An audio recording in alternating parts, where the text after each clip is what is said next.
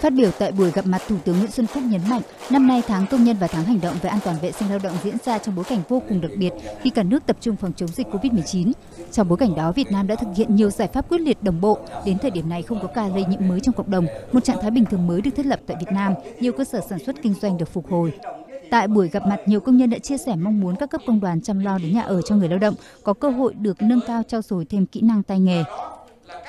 Qua là nghe tâm tư nguyện vọng của công nhân, Thủ tướng đánh giá cao công ty đã phối hợp tốt với công đoàn người lao động, làm tốt công tác tuyên truyền thực hiện các biện pháp phòng chống dịch hiệu quả, đảm bảo sức khỏe an toàn cho người lao động.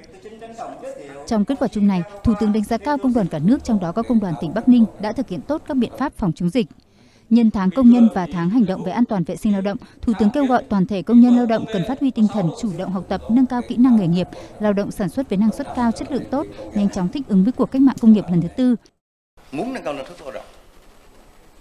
thì vấn đề tay nghề người lao động rất quan trọng. Thì tôi vui mừng là trong cái nguyện vọng của người công nhân ngoài vấn đề thu nhập, tiền lương, đời sống bình thường, chính sách chế độ thì các đồng chí đều có nói rằng một cái ý rằng là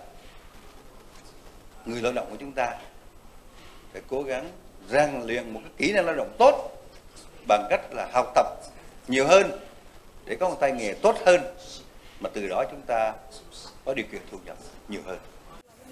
Thủ tướng Chính phủ đề nghị các cấp công đoàn đẩy mạnh phong trào thi đua lao động giỏi, lao động sáng tạo, tham mưu giỏi, phục vụ tốt. Đặc biệt, Thủ tướng yêu cầu các cấp công đoàn chính quyền địa phương cần làm tốt việc đảm bảo sức khỏe người lao động. Các cấp công đoàn cơ sở chính quyền địa phương tỉnh Bắc Ninh cần đánh giá nguồn lực về đất đai tạo cơ chế thuận lợi để xây dựng nhà ở cho công nhân, có trách nhiệm đào tạo giai cấp công nhân nhằm đảm bảo nguồn nhân lực phát triển kinh tế xã hội của đất nước.